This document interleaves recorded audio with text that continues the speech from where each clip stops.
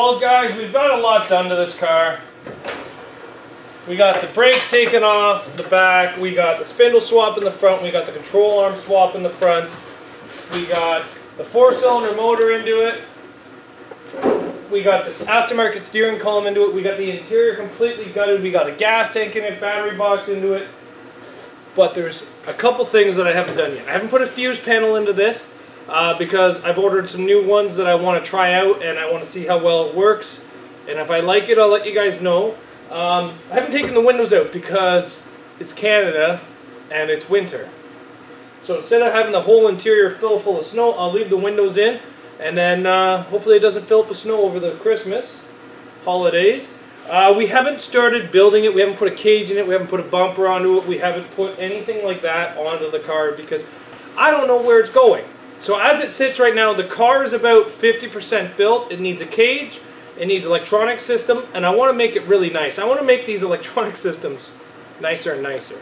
Um, it needs bumpers, but depending on where it goes and what 2022 rules are like here in Ontario, I don't know. So that's where this car sits. Um, I haven't tried firing it. I know that this is the motor that I've done the work to, and it was running on the carburetor, but I haven't tried firing it yet. Mostly because I like to randomly roll dice, and hopefully they come up uh, with a good uh, good roll. But uh, the other fact is, is there's a lot of stuff I haven't done to the car yet. So I guess you guys are gonna have to wait, just like I'm gonna have to wait to hear this thing run. Um, we did uh, take the rear brakes off. You guys weren't here for that. Um, all you guys see me do the ABS delete, so the lines to the back were already done. All I did was pull the calipers off, cut the bracket, the backings on the back, and put them all back together. Nothing really fancy in the back. Um, interior, you guys seen it. Actually, let's go underneath the hood because now I have the hood back on, and I'll show you guys what I did underneath the hood, where we left off. So basically, this was a V6 manual car, and we pulled that out, and we put a four-cylinder automatic in it, and uh, we put a good transmission bolted to this motor. We took off all the carbureting system. We put the fuel injection back on. We stole a harness off a different motor that was going to scrap. We put that on here. And we stole an alternator from a different car, threw that on here. Basically, this car here is salvage parts from everything else, but we do have that big hole in the firewall. You guys see that?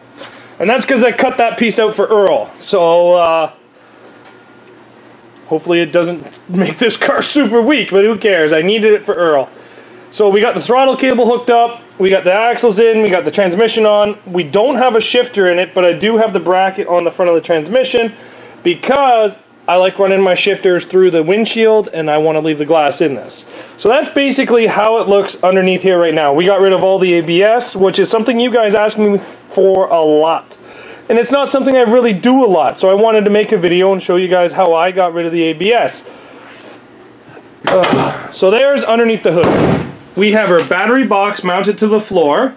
We have a fuel pressure regulator in this car, which we stole from this car, because I don't know where this thing's going to run, because it's been sitting here for a year and a half now.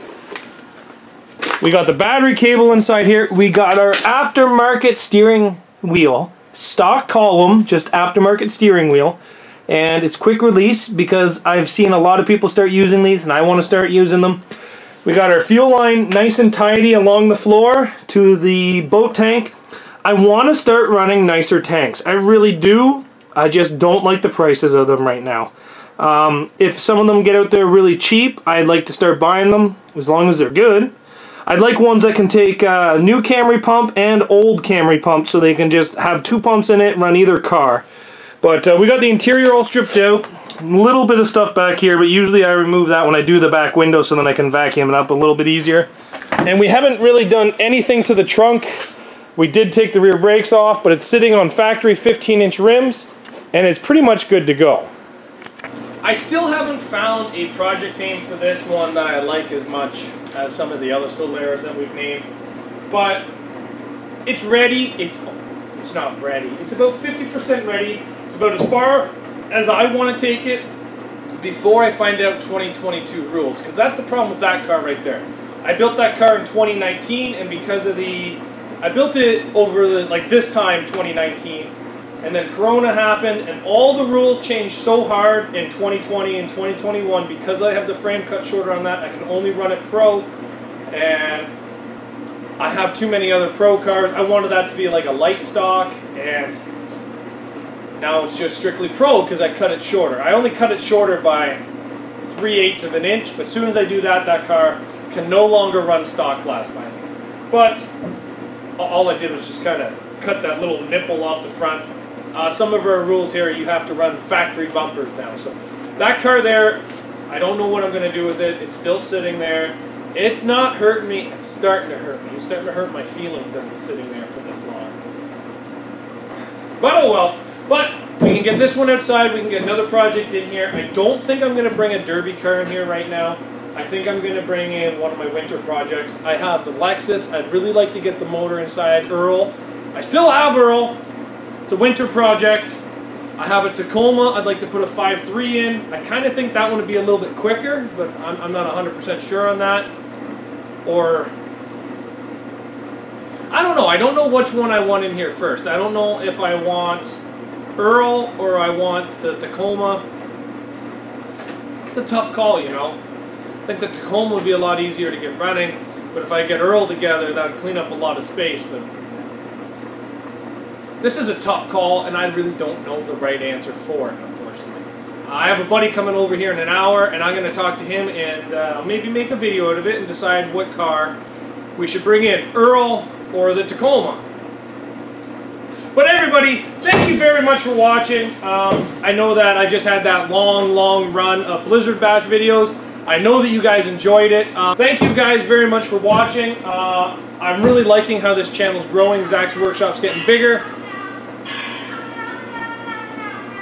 Zach's Workshop's getting bigger and bigger every day. So thank you very much. Uh, the Facebook page is blowing up. Uh, if you guys want to join the Facebook page, remember it's free. Just make sure you answer the security question. We have a lot of people that are coming in trying to scam, so we are actually paying attention. If you answer the question, you get in.